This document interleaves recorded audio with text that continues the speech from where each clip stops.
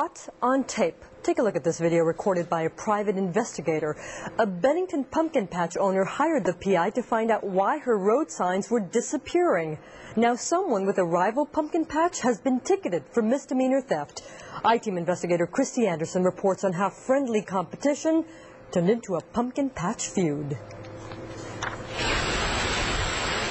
When those kids start showing up here, 1st of October, You say hi to the camera. They're just running around having a good time. Show him how you got your pumpkin. It's my season. Autumn at the Pumpkin Patch. Here at the Big Red Barn and Pumpkin Farm near Bennington, This is Smoochie. owner Kristen Smith says this fall tradition has always been about family and friendly neighbors. Everybody slows down. Everybody makes a point to bring their kids to a nice place to make some memories. And Smith relies on her roadside signs to attract attention. Then they started to disappear. I would put them up, and every couple days they'd come down. A couple of days turned into every couple of hours, and when Smith reported the theft to the Douglas County Sheriff's Department, she was told to get proof. To prove her signs were being stolen, Kristen turned to a private investigator who watched and waited in this cornfield for hours until he got the proof he needed. The proof, this videotape recorded by Brett Pippin of Security and Private Investigations of Omaha. Peering through a cornfield, Pippin records the woman as she jumps out, runs to a sign, grabs it, and dashes back to the car.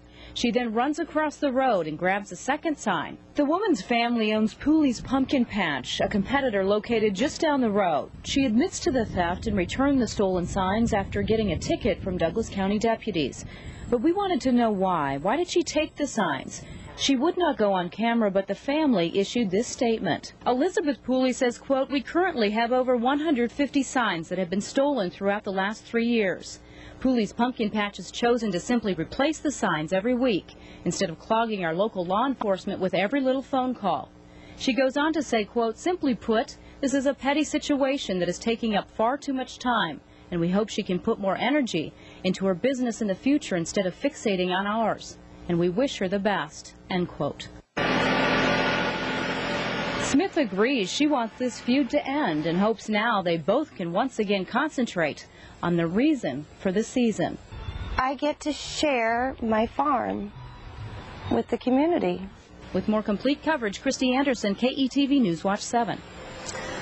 Now, the woman ticketed for misdemeanor theft, that woman you saw in the video, plans to fight the ticket.